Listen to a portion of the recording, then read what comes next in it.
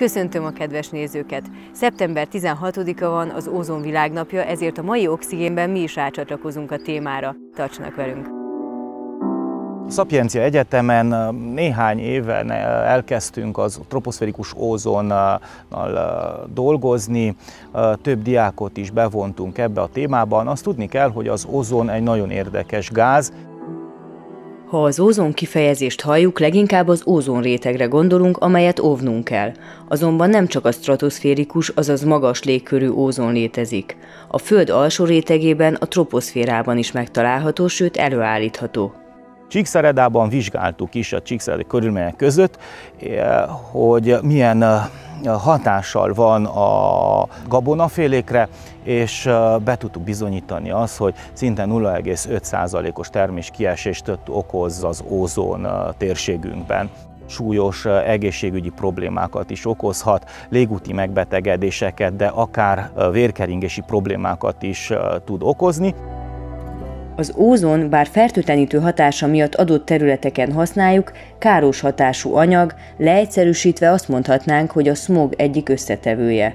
Termelődéséhez pedig az emberiség is hozzájárul ipari tevékenysége, közlekedési infrastruktúrája vagy akár háztartásainak működtetése révén hatékonyítani kell a szállítást a városokban, nagyobb agglomerátumokban, illetve csökkenteni az emisszióforrásokat. Egyszerűen alternatív energiaforrások fele kell forduljunk, elektromos kocsik, kivinni a nehéz járműveket a városból, és hasonló intézkedéseket kell hozni egy nagyon korszerű távfűtés tudna még egy nagyon sok légszennyező anyag csökkenéséhez vezetni. Mivel az ózon környezetünkben káros hatású anyag, lakott területeken mérik a levegőben jelenlévő koncentrációját. Ezen mérések eredményeit azonban jobb, ha szakemberrel értékeltetjük. Hisz azt tudni kell, hogy az ózonnak a képződéshez, egy bizonyos idő kell.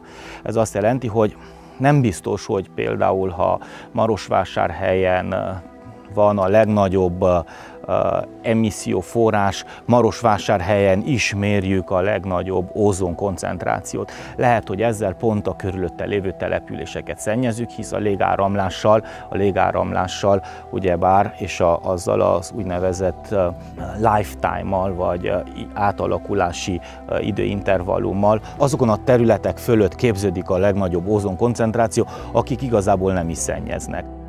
Bár kevesen tudják, de az ózon termelődéséhez nem csak a 21. századi életmódunkkal, ipari tevékenységünkkel járulunk hozzá, hanem olyan hagyományos, jól beváltnak hit eljárásokkal is, mint a tarlóégetés. Egyértelmű, hogy a tarlóégetések, illetve, illetve a, az akármilyen típusú mezőn történő égetések jelentős nitrogénoxidokat, kénoxidokat és széndiokszid, monoxid széndiokszidot bocsájtanak ki a légkörbe. De hogy is áll jelenleg ezen a téren Székelyföld? Mennyire hagytunk fel ennek a több évszázados eljárásnak a gyakorlásával? És milyen törvényi szabályozások keretében élhetünk vele? Tarlóégetések konkrétan csökkentek az utóbbi időszakban. Nem annyira ez a probléma, mint a nádasok, a, a felhagyott területek, lágyszárú növényzetes területek égetése, amik ugye bár hozzá tudnak járulni a levegőszennyezéshez. És ezek nem csak a levegőszennyezéshez, hanem úgy pusztító hatásuk tud lenni az állat-növényvilágra is.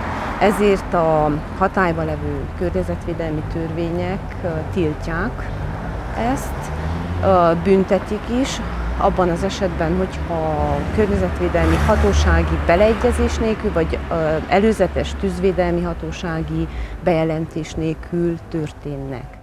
Gazdák mindenképp meg kell munkálják a területeiket, tehát nem, nem lehet gyufával gazdálkodni.